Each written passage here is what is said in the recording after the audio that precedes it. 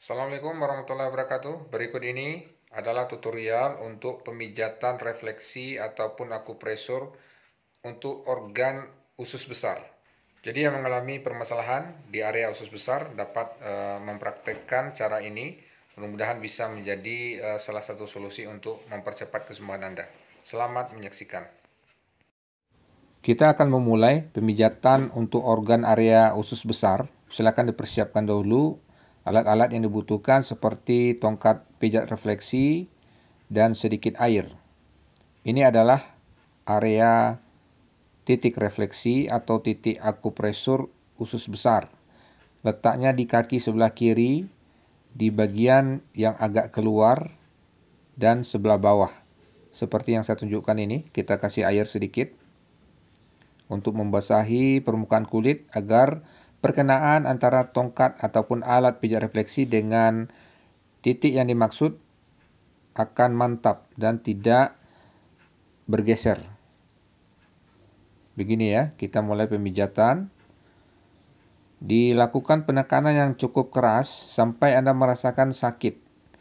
Jadi jika usus besarnya bermasalah, jika di situ ada penyakit ataupun radang, maka Anda akan merasakan sakit yang sangat ketika dilakukan penekanan ataupun pemijatan.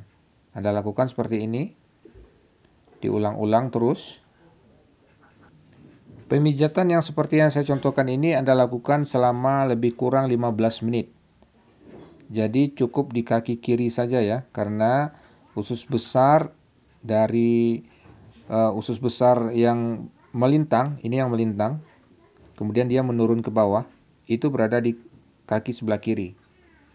Karena usus besar itu cukup panjang ya, dimulai dari perbatasan antara usus buntu, lalu dia naik ke atas, lalu dia melintang, lalu turun ke bawah di bagian kiri. Durasi waktu yang Anda lakukan untuk pemijatan ini lebih kurang 15 menit dan Anda lakukan setiap hari. Ini bagian yang melintangnya, Anda pijat juga. Juga bagian yang menurun ke bawah, lalu bagian yang melintang. Seperti pada contoh. Anda lakukan seperti contoh, Lakukan ini 15 menit setiap hari sampai rasa sakitnya tidak terasa lagi. Jadi indikasi kesembuhan ketika Anda melakukan pemijatan ini sudah tidak sakit lagi. Bahkan pada sebagian orang ketika sudah dipijat akan timbul sensasi gatal ya. Itu menandakan bahwasanya aliran darah ke area usus besar itu sudah mulai lancar.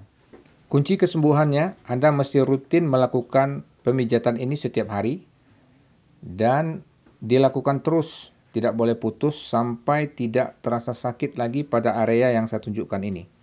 Ya, dikasih air sedikit lalu pijat pada area yang saya tunjukkan seperti di dalam video ini. 15 menit setiap hari sampai rasa sakitnya hilang. Mudah-mudahan setelah Anda rutin melakukan ini, insya Allah permasalahan-permasalahan akan hilang.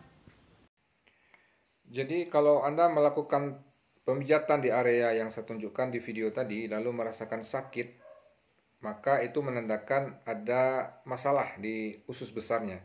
Jadi usus besar ini salah satu fungsinya adalah menyerap sisa-sisa air dari proses pencernaan dari usus halus sebelum dibuang menjadi feses. Kalau bermasalah di situ biasanya permasalahan Anda eh, berupa eh, sembelit atau BAB eh, yang tidak lancar, uh, sering sakit perut di bagian uh, terutama di bagian sebelah kiri bawah ya. Kemudian juga lama-lama juga bisa menimbulkan wasir dan permasalahan-permasalahan yang seputar pencernaan lainnya seperti kembung, perut terasa keras, begah, kemudian sendawa itu bisa salah satunya diakibatkan karena kondisi usus besarnya yang uh, kurang optimal, tidak bagus ya. Jadi untuk memperbaikinya lakukan cara tadi Jangan, jangan tunggu penyakitnya parah dulu baru Anda lakukan. Tidak ada salahnya Anda rawat kondisi usus besarnya Anda rawat dengan melakukan pijat refleksi secara uh, teratur dan uh, usahakan uh, bagian ataupun area yang kita tunjukkan tadi di telapak kaki kiri itu tidak sakit lagi ketika Anda pijat. Itu indikasi bahwasanya aliran darah dan aliran energi di area usus besarnya sudah lancar insya Allah. Mudah-mudahan bermanfaat. Jangan lupa di-share. Mudah-mudahan bisa bermanfaat juga bagi yang lain. Assalamualaikum warahmatullahi wabarakatuh.